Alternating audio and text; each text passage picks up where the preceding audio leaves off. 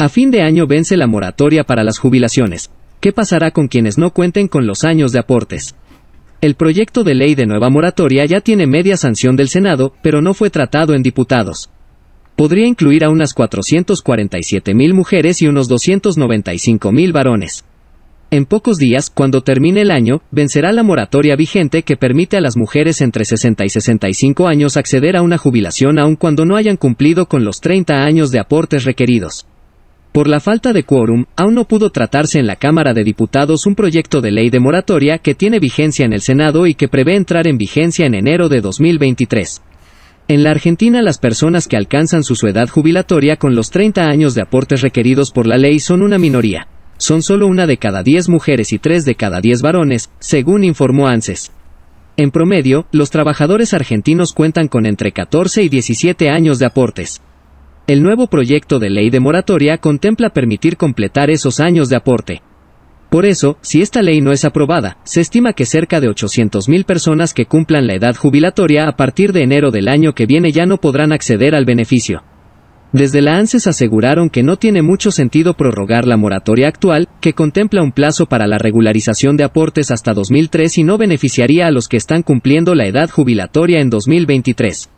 El organismo espera que se pueda tratar en sesiones extraordinarias. De lo contrario, se podría tratar recién a partir de marzo del año que viene en las sesiones ordinarias porque aún conservaría su estado parlamentario. La moratoria vigente Ley 26.970 está destinada a las mujeres que cumplan la edad jubilatoria, 60 años y menores de 65 años, y permite incluir deudas de aportes entre enero de 1955 y diciembre de 2003. Hay otra moratoria Ley 24.476 pero requiere una evaluación socioeconómica previa y cubre aportes adeudados desde 1955 a 1993. Si se aprueba el proyecto, la nueva moratoria tendrá vigencia por dos años y será prorrogable. En ese caso, incluirá personas que ya alcanzaron la edad jubilatoria menos 65 años para los varones y 60 para las mujeres y no tienen los 30 años de aportes realizados pero también a los que aún están a 10 años o menos de cumplir la edad jubilatoria y podrían comenzar a regularizar sus deudas con anticipación.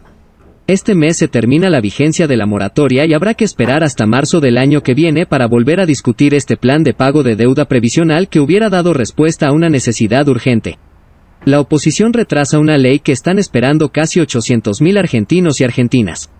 Las más afectadas serán las mujeres porque, al cumplir los 60 años sin los 30 de aportes, deberán esperar sin cobertura hasta los 65 años para poder solicitar la pensión para el adulto mayor, PUAM, expresó Fernanda Raberta, titular de la ANSES.